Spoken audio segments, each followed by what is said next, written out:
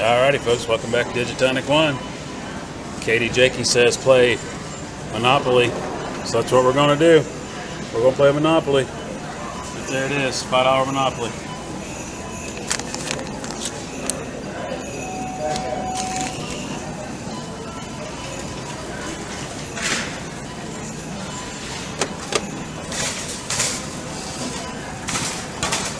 Alright. Ticket number six. Alright. Let's see what we got. Stay tuned. All righty, folks, we're back on the Jupiter table. I asked Katie Jakey earlier today because she was winning. I said, What ticket should I play? And she said, Play Monopoly. So that's what I did. I bought Monopoly. Got ticket number six here, just like you saw me just buy out of the machine. So uh, let's read the particulars.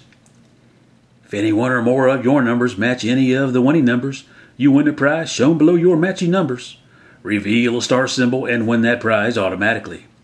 Reveal a train symbol and win 10 times the prize shown automatically. Reveal a ghost symbol and win $250 automatically. All right, let's see what the winning numbers are under here. Got the kitty cat, the looks like a battleship, and the dog. Let's see what we got.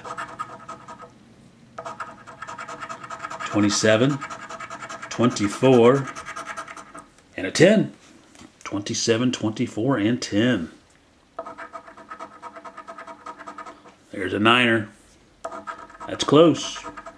23. That's close. 17. That's not close. A 12. Ooh, thought we had it. 28. That's close. Number one. 25. Nada. All right. 30. 20. Come on, come on. A 4. Come on. 15. No 15. Twos are popping off. A 3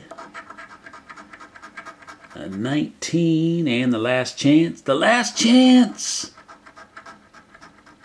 Sixer. Ah, it's a loser. Ah, man. Daggone it.